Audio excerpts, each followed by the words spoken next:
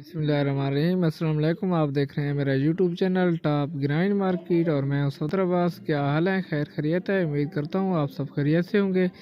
अल्लाह पाक हम सबको अपनी सो अमान में रखे। आमीन। तो सबसे पहले बात करते हैं आज चने की। तो चना आज बन गया है तकरीबन उनचास सौ पचास रुपये फ़ी चालीस किलोग्राम के हवाले से। तो आपको आज मोरखा बताते जाएँ तो आज बारह दिसंबर दो हज़ार इक्कीस है।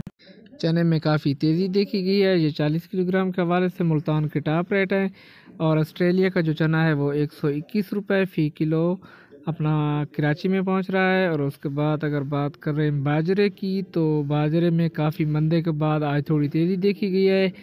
तकरीबन अट्ठावन सौ रुपये कराची के बन गए हैं और बाईस सौ पचास रुपये फैसलाबाद के बन गए हैं। फ़ी चालीस किलोग्राम के हवाले से और उसके बाद मूंग की बात की जाए तो मूंग में भी थोड़ी बहुत बेहतरी नज़र आ रही है और इसकी डिमांड मौजूद है तकरीबन चवालीस सौ और चवालीस सौ पचास रुपये ये फैसलाबाद के फ़ी चालीस किलोग्राम के हवाले से टॉप रेट हैं।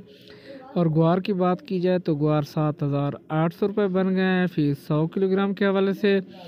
और गंदम की बात करें तो गंदम भी आज तेज़ देखी गई है, तकरीबन तेईस सौ अस्सी रुपये बन गए हैं।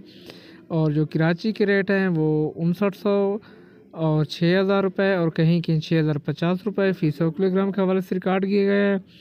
और खादों की बात की जाए तो खादें भी वहीं मुस्तकम हैं। उनका चौरासी सौ रुपये सोना डीएपी और तारा और जो सोना जूरी है, इसके जो रेट हैं, ये बन रहे हैं अठारह सौ रुपये और सतारह सौ अस्सी रुपये ब्लैक रेट में इनके जो रेट हैं, वो दो हज़ार से बाईस सौ और तेईस सौ रुपये तक इनके रेट हैं।